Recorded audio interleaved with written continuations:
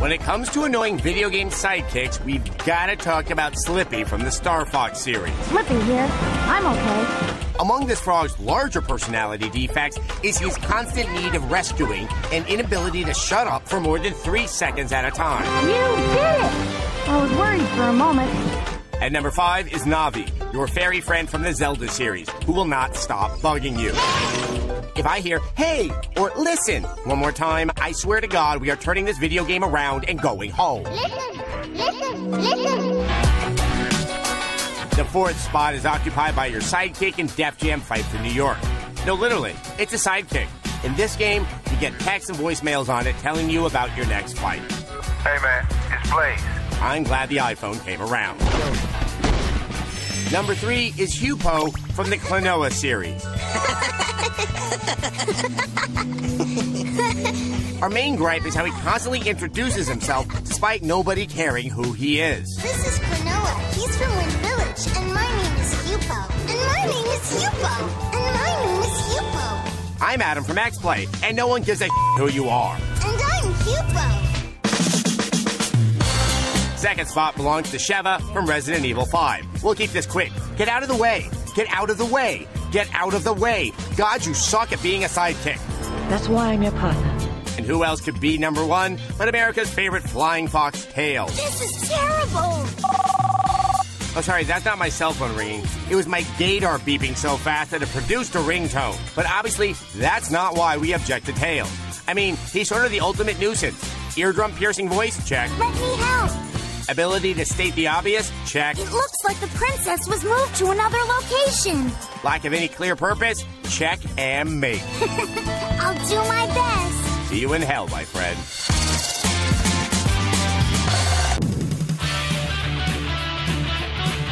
Ever since Sega folded its game systems department in 2001, Sonic the Hedgehog has been bumming around like he caught Knuckles with his girlfriend. Sure, he showed up in some games for his former competitors, but his heart really wasn't into it. But with the release of the surprisingly good Sonic Generations, it looks like the Hedgehog is finally feeling a bit better about himself. And just like getting over a rough breakup, it was Sonic finding himself that led to this inspired new game. Now, while most of us may require therapy or booze to help us rediscover ourselves, Sonic finds himself, his old self, with the use of a time machine. I can't believe there's two of me. One of the benefits of this time travel plot is a collection of greatest hits levels pulled from the last 20 years of games. The place where this game falls down a bit is in button responsiveness. And for anyone who is stuck with Sonic through the dark years, none of the levels will feel new. So, hardcore hedgehog heads should be warned all the content isn't entirely fresh. Place is giving me deja vu all over again. But even with the retread levels and the sluggish responses, it is nice to see Sonic back on his feet and pulling off what feels like his first good game in a decade. That's why we give Sonic Generations four other fish in the sea. Surprise! Out of five. Metroid Other M seemed to hold promise when it was first announced, but now it has arrived, and holy crap, it sucks for so many reasons. Hang on tight, Metroid fans, this is gonna hurt. The story is a far bigger part of the game than in any previous Metroids, and it's a big part of the problem. The conspiracy side of the tale is just fine, but mostly it's concerned with Samus and her vast, sweeping insecurities related to her past. Samus's characterization in Other M is absolutely unacceptable and frankly insulting to her fans in general and female fans specifically.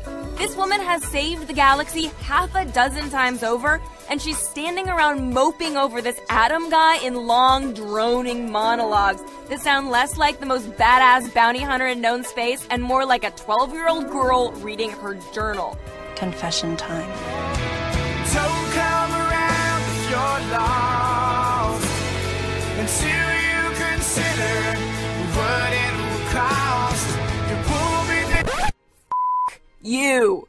This is one of the strongest and non sexualized female characters in gaming, and now she's constantly showing us her ass and mooning over this utterly personality free Adam guy. She's so submissive to him that the reason you don't have your power ups in the beginning is not because she doesn't have her power up abilities, but because she decides not to use them until Adam says it's okay. Samus, I'm authorizing missile use. Dude, you couldn't even open the front door without Samus's help. The third person action is a blend of Ninja Gaiden and Metroid and works pretty well aside from the inconsistent auto aim that's forced on you. First person view is the only way to shoot missiles and scan things, and you're stuck standing still during this. The problem is that you control third person with the Wiimote held sideways and first person by rotating the Wiimote and pointing it at the screen. So there is always a moment of, wait, where's my reticle every time you switch to first person. Boss battles basically consist of finding enough time to switch to first person and fire off a missile without being creamed.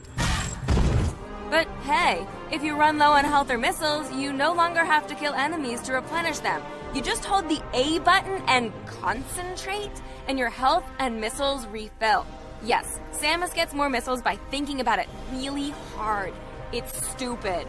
Metroid Other M is a giant pulsing morass of bad decisions. Two massive thumbs down out of five.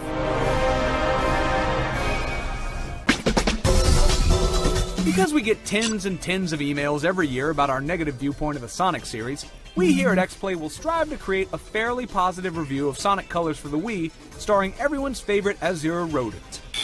I mean, Blue Hedgehog. Colors takes our hero on a trip to a nefarious carnival created by Dr. Eggman. It's up to you to save the aliens being held hostage for their powers by using their powers for yourself. Yes, it's a story better left on the floor of Friedberg and Seltzer offices. Better left in slash fiction forums. What fans of the series have come to expect. I know I say that every time, but this time, really, nothing will stop me. Remarkably, this is one of the best looking Sonic titles to grace the Wii, which is like saying it doesn't remind me of a clown in a blender. It doesn't make my eyes bleed as much. That the development team finally put some of those creative juices that they've been hoarding on the shelves into designing rather interesting environments like industrial Candylands. And maybe I was roughed up by a TSA agent a little too much, but even the writing seems to have improved. Either being used for their magical powers by an evil man, or to make underwear to be worn by Sally. Unfortunately, Creative Juice doesn't go nearly as far as it once did since so many of the levels are about as boring as watching The Mentalist. C SPAN 2. Slightly more entertaining than Skyline. It's these wisp aliens that can give Sonic new powers or completely transform him into something new. Too many stages, however, are based around these slow, clunky, counterproductive powers that work against the main mechanics the series is so noted for speed and platforming. Perhaps the one thing that Sonic Colors gets right is being the most 2D 3D game on the Wii. Uh, I find that hard to believe. So when the game is not boring, not slow, actually acting like a Sonic game, fans of the series might just find a glimmer of hope in this beautiful mess. That's why we're giving Sonic Colors a 3 out of 5. Welcome to the grid. Now that you've seen Tron Legacy, you're probably curious about what happened in the time span between the two films. Oh, wait, I just remembered. Nobody cares what happened between the movies. But that hasn't stopped the developers from creating a half baked clunker of a game that answers a lot of questions that no human being has ever asked or wondered about. I think you would have preferred death to this. Oh man, death is sounding so good right now. Things start off with a brief explanation from Kevin Flynn, who was strangely performed by a different voice actor doing an impression of Jeff Bridges. Free will, man. Try programming that. That is a terrible dude impression. I still can't get over it. Anyway, things have gotten more complicated in the universe of Tron, and Flynn has created a security program to solve some unexplained anomalies. And that's where my new system monitor security program comes in. I wrote it to get things under control. More chore than game, Tron Evolution clumsily tries to incorporate Prince of Persia style wall running. But the developers couldn't match the finesse of that series, and you'll fall over and over again. You see how not fun this jumping sequence looks? It's exactly that not fun to play. The camera is far too zoomed out, and at sometimes it has no idea what you want to be looking at. It's like the whole thing is being filmed by a 12 year old kid who stopped taking his Ritalin. We have to get to the bottom of this. We won't spoil any plot details, but we can promise that the talkie storyline will put you to sleep faster than a handful of Ambien. It seems this Abraxas virus was once an ISO. Okay, I'm bored. You can ride light cycles, but you don't actually battle with them. They handle like Vespas, and the driving sequences in the game are just there to get you from point A to point B. Granted, the light tank is a fun diversion, and there is one other positive. Time for a new course. We love the way you can hop seamlessly from the single player campaign to multiplayer matches at disc upgrade stations. The downside is that the multiplayer itself is a bit of a mess. Maps are frequently too big for the game types, and the matchmaking is worse than Charlie Sheen and any of his wives. It's way past games now. If only this were a way past game. Tron Evolution gets two awkward screens out of five. You like Sonic the Hedgehog games? But do you think you would prefer them if they actually did not have Sonic the Hedgehog in them? Well, you're in luck. We've got a Hedgehog game with absolutely none of the stuff that makes the Sonic games cool. Here's our review of Shadow the Hedgehog. The legend of Groundhog's Day states that if the groundhog sees his shadow, we can expect another six weeks of winter. If there are legends surrounding hedgehogs, it might go a little something like this Shadow the Hedgehog sucks. Sadly, it's become painfully obvious that Sega has no idea what to do with the Sonic franchise. And instead of letting it retire peacefully, they slapped some lipstick on it, told it to stop crying, and made it go out and dance for another night. First of all, the gameplay is a letdown. It reminds me of what my ex used to say I'm not mad at your hedgehog, I'm disappointed. Sure, the basic elements from the Sonic Adventure games are here. The large levels filled with obstacles, enemies, and secret paths for collecting rings. But the character control is ridiculously awkward. Shadow spends most of his time gliding about like an ice skater with a brain tumor. And this game has worse camera control than Michael Bay. Every maneuver is made doubly difficult thanks to that infernal camera. Oh, get over! And in some bizarre attempt to make the game edgy, Sega thought it would be a good idea to introduce firearms into the mix. The result turns out to be the exact opposite of a good idea. What's that called? Oh, yeah, a bad idea. Sure, you get to blast enemies, but you spend most of your time hunting for ammo and virtually no time running really, really fast, which is what the whole franchise is based on. What's worse is this game could be construed as racist. The Black Aliens. Black aliens. Are committed by the Black Aliens. Black, black. Black aliens. Eliminate the black aliens. Kill them all. But we must stand united to defend our world against these invaders. That president seems a little too concerned with the real estate value of his planet now that the black aliens have moved in. I bet if it were white aliens, everyone would be all hugs, smiles, and welcome baskets. The tragic part of all this is that any hint of racism makes real hedgehogs cry. But enough of this negativity. Let me think of something good to say about Shadow. Something good, something good. Ah, here we go. The levels. They're big, and there's a lot of them. The only other bright spot in this game is this guy. It's time to make all final preparations for our ritual.